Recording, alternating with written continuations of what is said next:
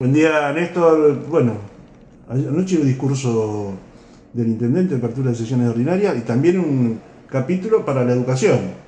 Sí, bueno, es yo- una, una visión, desde, en este caso, del Consejo Escolar. ¿no? Una visión de, bueno, fundamentalmente personal y como consejero escolar eh, referido a, a lo enunciado eh, por el intendente municipal en la apertura de sesiones ordinarias referente al ámbito educativo y bueno, y desde lo personal eh, eh, valoro las inversiones eh, que ha llevado adelante el intendente municipal en materia de, eh, o mejor dicho, él en representación del pueblo de Saladillo en materia de educación cuando en el distrito tenemos eh, eh, más de 60 edificios eh, educativos que prestan distintos, en distintos niveles y modalidades cuestiones pedagógicas que hacen a, a los distintos niveles. La verdad que hablar de, de una inversión durante el 2014 de más de 3 millones de pesos eh, de parte del municipio de Saladillo, eh, uno se siente más que orgulloso como eh, militante político, como radical y como consejero escolar que día a día estamos recorriendo permanentemente en territorio la problemática de la escuela. Cuando nos pasa a nosotros que con nuestros recursos propios eh, a veces la sábana queda corta, como puede pasar también en otras instancias del Estado o, o como este Estado municipal, que siempre no se puede dar solución eh, al unísono, al mismo tiempo, a todas las problemáticas que una comunidad, que una comunidad necesita y que los sectores eh, también demandan. Y en lo que va del 2014, también que ya vayan ejecutado 900 mil pesos, habla de que realmente 2015. 2015, en lo que va del 2015, hayan ejecutado ya más de 900 mil pesos, habla las claras que también de, de un aporte interesante y marca un sesgo eh, en materia educativa de carácter progresista eh, de la gestión. Nosotros tenemos que también eh, hacer referencia a lo nuestro. Nosotros hemos tenido egresos por 1.054.366 pesos durante el año 2014 en materia de inversión en infraestructura educativa. Me paro un poquitito En el en tema de infraestructura. Mm. Haciendo, ¿desde qué año está en el Consejo Escolar? Eh, de ma- 10 de diciembre del 2011. Se va a vencer el mandato 10 de diciembre de 2015. Si tenía que hacer un, un balance, porque el tema de infraestructura es el tema que siempre se habla, pero sumado a estas cuestiones que tienen que ver con lo que vos planteás, erogaciones, y tiene que ver más el apoyo que se recibe de la comunidad en manos o de manos del intendente. Vos decís, la infraestructura educativa y la infraestructura escolar en 2011, ¿qué es?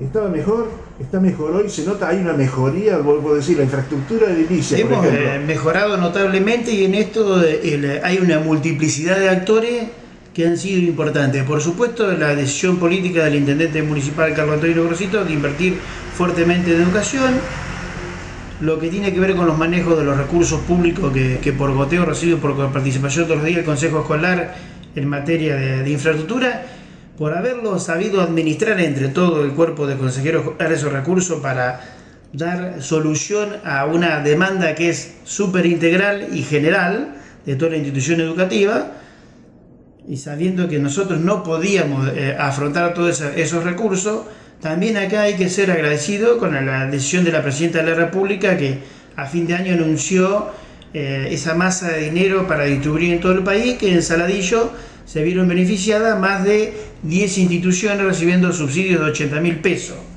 lo que marca que en el término de, un, de este cuatrimestre del 2015 se van a estar solucionando situaciones importantes de fondo en más de 10 escuelas del distrito. Esto viene a sumar a la gran eh, inversión eh, económica que realiza el municipio de Saladillo. Y también aplaudimos la decisión de sesgo progresista, así como digo que es una decisión de fuerte corte de sesgo progresista del intendente municipal de Saladillo. También aplaudo la decisión de la Presidenta de la República de tener en cuenta, porque la verdad que el gobierno de la provincia, sobre todo en los dos, en los tres primeros años de nuestra gestión, al frente del Consejo Escolar, la- eh, había girado poquísimos recursos, yo te diría que nos hemos bancado fundamentalmente con el fondo compensador que todos los días nos ingresa dinero eh, por coparticipación. y que recién el año pasado empezó a enviar alguna señal el gobierno de la provincia cuando nos giró un subsidio de 200 mil pesos que nosotros solucionamos el problema del techo en las ocho aulas, reemplazando, no reemplazando, sino poniendo sobre la losa existente de las ocho aulas de la Escuela 38 un techo de chapa y perfilería. Y este año también por la resolución 106 gira fondos para realizar distintas inversiones de tipo preventivo, correctiva en infraestructura, 249 mil pesos y otros 41.500 pesos para realizar eh, algunos eh, recambios de artefactos de gas y también otros 41.500 pesos para las cuestiones de cegados de pozo que puedan llegar a haber cumplido su ciclo y para que sean seguros. En, en cuanto hace el tema transporte y SAE, sobre el SAE te pregunto, servicio alimentario, si tenés datos estadísticos de qué era lo que atendía el SAE en 2011 y qué atiende hoy en cantidad.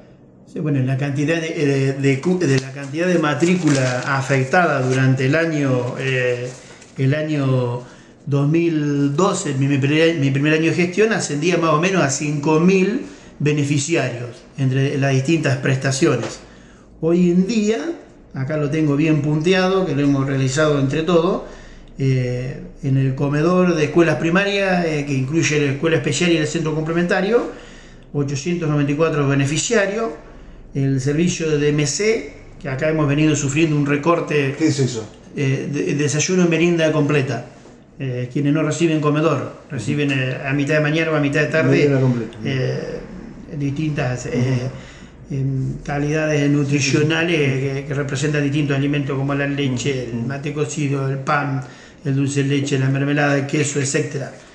Eh, acá el 3.740 eh, tenemos aprobado nosotros para, para con, esta cantidad de raciones eh, estamos asistiendo a más de 5.000 chicos. La matrícula asciende a más de 5.000 chicos. No varió la no varió hablando de nivel primario, de centro complementario y la escuela especial. Yo lo quiero ver si varía. Acá hubo un recorte realizado por el gobierno de la provincia entre el año 2013 y 2014 que representó más o menos en términos generales aproximadamente el 20%. Yo apunto... Ya no dejó de ser universal, esta era política universal, el DMC. Sí, sí. Ahora pasó a ser eh, el, eh, focalizado. si bien se le da a todo, en el marco de la institución educativa, desde el punto de vista de la cantidad de cupos aprobados, está focalizado, o sea, porque no es un cupo un chico, un cupo un chico. Así que Después, adolescentes, secundaria también tenemos una especie de DMC que son las raciones simples, que son focalizados 107 eh, aprobaciones, 310 en comedor de escuela secundaria y en jornada completa, que son los que quedan a pernoctar, 69. Y en cuanto a esa ración, con el dinero que, envía en este caso la provincia, ¿es suficiente para la, la ración? Hay que hacer malabarismo y mirar. Uno tiene que dividir en dos etapas. Soy fuertemente crítico de la etapa anterior al 2013 y soy agradecido con la provincia de Buenos Aires, merced a algunos deberes que realizaron de tipo administrativo, y que hemos mejorado, que se han mejorado la cadena de pago durante el 2014. No hay tanto problema con proveedores. Vine a mes vencido. o sea, esto a nosotros nos dio otra herramienta de que poder, eh, siempre hemos estado abiertos a que nuevos proveedores ingresen al mercado de la prestación de servicio alimentario. Y se daba alguna especulación. Pero se daba alguna especulación, teníamos precios eh, sobrecargados, nosotros que yo ya lo he dicho en otra oportunidad. De esta manera pudimos tener una herramienta importante. Ajustar precios. Para ajustar precios con los proveedores que estaban ahí y también se han agregado algunos otros, no muchos, pero eh, bienvenidos sea porque se han agregado dos o tres proveedores más. Es decir, que ahora los proveedores, que en algún momento algunos, siempre algunos especularon, hoy tienen el cobro a mes vencido. Están mucho mejor. También tengo que decir que se está eh, cumplimentando eh, una, deuda importante del año 2013 de 540 mil pesos, de más de medio millón de pesos, del Distrito de Saladillo Servicio Alimentario que mantenía la provincia, recién ahora. Acabamos de, pagar un mes importante como el mes de noviembre y finalizar el mes de diciembre del 2013 eh, hace 48 horas, el viernes de la semana pasada, que no me acuerdo ahora la fecha. Eh, de manera que, bueno, que eh, eh, hemos mejorado. O sea, la, deuda que queda en 2013 es poca. También había proveedores que por ahí con razón se agarraban de, esa deuda que, los venía manteniendo relegados. Pero bueno, en este caso eh, mejorando. En cuanto a transporte, Bueno, en el transporte escolar, por ahí yo no soy el- el- uno de los referentes que más, eh, que más ando, pero bueno, tenemos pago de, puedo hablar de pago, pues soy el tesorero tranquilamente. eh, tenemos pago hasta noviembre del eh, el año 2014. eh, Así que Respecto a la prestación del año 2014. Y bueno, y esperando de que se deposite diciembre y ya poder empezar a esperar la cadena del año que está en curso. volvemos al discurso inaugural de Carlos Gorosito. Bueno, yo quería agregar, eh, por ejemplo, el, eh, uno ve para dar ejemplos, ¿no? Cuando uno habla de, de- de que el Estado municipal ha apoyado, por ejemplo, ha construido una escuela estética en Saladillo, es una instancia educativa no formal, el, eh, no es de carácter obligatorio para eh, la comunidad de mandar a sus hijos a la, a la escuela estética, sí. pero es una escuela que ha crecido un montón en, en nivel de matrícula, calidad educativa por supuesto que la tienen, trabajan bárbaro todo la, la directora y todo su equipo eh, de docente, el personal auxiliar y todo, y ha crecido un montón la matrícula. Eso habla a las claras de que fue una inversión importante y necesaria, porque para el Estado provincial no iba a ser prioridad, porque una instancia educativa formal, a veces el Estado provincial no pueden cumplir con las obras de, por ejemplo, de crear un nuevo jardín o remodelar en- en- íntegramente una nueva escuela. Imagínense que menos va a dar respuesta a una escuela estética. Yo he estado caminando en ciudades, la capital de la provincia, en La Plata, no tienen edificio propio de la escuela estética. Andan un día en un lugar, otro día en el otro, otro día en una plaza. Eh, yo estoy orgulloso de que Saladillo tenga una escuela estética hecha por el municipio de Saladillo para la provincia de Buenos Aires, para brindarle una educación súper interesante e integral de donde se desarrolla el aspecto creativo de nuestra niñez eh, en la ciudad de Saladillo y de haber tomado esa decisión política en su momento haber aportado a la, por ejemplo, a la creación del centro educativo complementario, donde la palabra dice, se reciben eh, saberes del punto de vista complementario y se atiende a una matrícula por, que tiene que ver con los sectores más vulnerables de la comunidad. Y por supuesto que eso es una decisión importante porque tenemos que incluir a esos sectores. Eh, por mi casa se va a iniciar la obra. El otro día vi que estaban haciéndose los cálculos de, de estructura. Andaba una empresa ahí que ganó la licitación haciendo estudio del suelo en la esquina de Frochan y Bozán. Se va a hacer el CEF número 77. Yo puedo dar fe, profesor de educación física, he trabajado eh, durante más de 15 años a la intemperie. En la única escuela que teníamos un gimnasio, que también algo ha hecho la gestión municipal por el gimnasio del EP número 26, que he estado adentro, no por mí, porque yo me puedo aguantar una helada, pero los chicos que están haciendo actividad física, uno tiene que a veces parar, explicar, se enfrían, sufren las inclemencias del tiempo, y hemos estado tirados en, la Mariano Costa, en, en las vías del ferrocarril, en el polideportivo, en distintos lugares por carecer de infraestructura propia. Este gimnasio va a poder, si se hacen subdivisiones con telones, por ejemplo, dar tres o cuatro clases en forma simultánea de la institución educativa de Saladillo durante el turno mañana y tarde. Y en el turno vespertino recibirán la atención los alumnos que, que van a la matrícula no formal de- del CEF, que también es, eh, aprovecho también eh, la oportunidad, eh, tener una sede propia fortalece la identidad de la institución. Se promueve y se fortalece también la actividad inespecífica que se desarrolla en la materia de inclusión y de contención social y en la materia de eh, prevención de las adicciones. Por ejemplo, al tener este tipo de instituciones deportivas como lo son los clubes, que también hay una fuerte política de apoyo hacia las instituciones deportivas en la- gestión municipal. Y en lo que hace a la gestión privada, En lo que hace la gestión privada, mire, yo tengo una teoría. el, eh, la verdad que los impuestos los pagamos todos, eh, los saladillenses. ¿Por qué discriminar entonces a las escuelas, a las instituciones privadas? O sea, que el Estado Nacional y el Estado Provincial en todo caso también le quiten los subsidios.